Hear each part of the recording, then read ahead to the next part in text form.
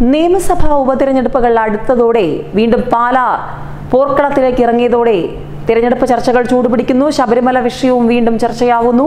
ആ സത്യം തുറന്നു പറഞ്ഞിരിക്കുകയാണ് ശ്രീധരൻ പിള്ള ഏതായാലും നിയമസഭാ തിര നിയമസഭാ തെരഞ്ഞെടുപ്പിൽ ശുഭാപ്തി വിശ്വാസത്തിൽ തന്നെയാണ് എല്ലാ മുന്നണികളും. ആ സത്യം തുറന്നു പറഞ്ഞിരിക്കുകയാണ് പിള്ള.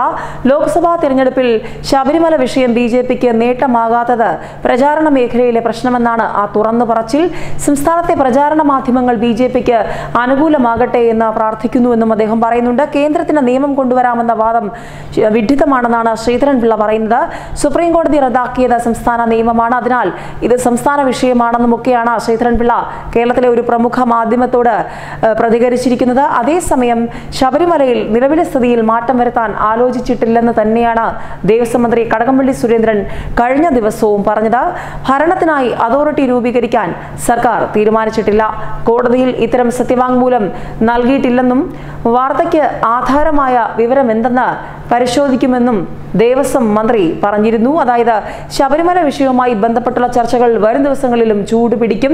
ശബരിമലയ്ക്കായി പ്രത്യേക നിയമം കൊണ്ടുവരുമെന്ന് അഭിഭാഷകൻ സുപ്രീം കോടതിയെ അറിയിച്ചത്.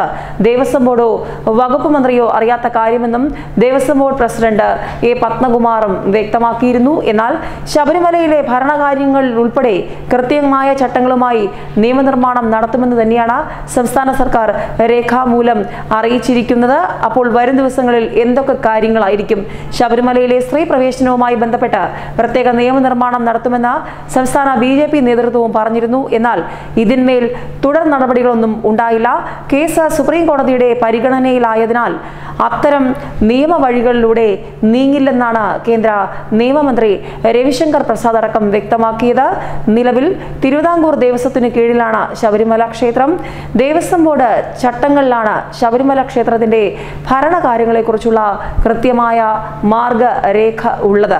ഏതായാലും വരും ദിവസങ്ങളിൽ ശബരിമല വിഷയവുമായി ബന്ധപ്പെട്ട രാഷ്ട്രീയ നേതാക്കന്മാരുടെ പ്രതികരണങ്ങൾ ഇനിയും ഉണ്ടാകുമോ എന്ന് തന്നെയാണ് കേരള സമൂഹം ഉറ്റുനോക്കുന്നത്. പ്രത്യേകിച്ചും നേരത്തെ സൂചിപ്പിച്ചതുപോലെ പാലായിൽ ഉപതെരഞ്ഞെടുപ്പ് മറ്റുള്ള നിയമസഭാ മണ്ഡലങ്ങളിലേക്കും സംസ്ഥാനത്ത് അധികം വൈകാതെ ഉപതെരഞ്ഞെടുപ്പ് നടക്കുമ്പോൾ ശബരിമല വിഷയം എങ്ങനെ പ്രതിഫലിക്കും? മാത്രവുമല്ല ശ്രീധരൻ പിള്ള ആ നിലപാട് വ്യക്തമാക്കുമ്പോൾ അതായത് ലോക്സഭാ തിരഞ്ഞെടുപ്പിൽ എന്തുകൊണ്ട് ശബരിമല വിഷയം ബി ജെ പിക്ക് ഗുണകരമായില്ല? കേന്ദ്ര നിയമം സംബന്ധിച്ചുള്ള ശ്രീധരൻ പിള്ളയുടെ പ്രഖ്യാപനങ്ങൾ അപ്പോൾ ബി സത്യങ്ങൾ വെട്ടിത്തുറന്നു പറയുമ്പോൾ വരും ദിവസങ്ങളിൽ എന്തായിരിക്കും? ന്യൂസ് ഡെസ്ക് മലയാളി വാർത്ത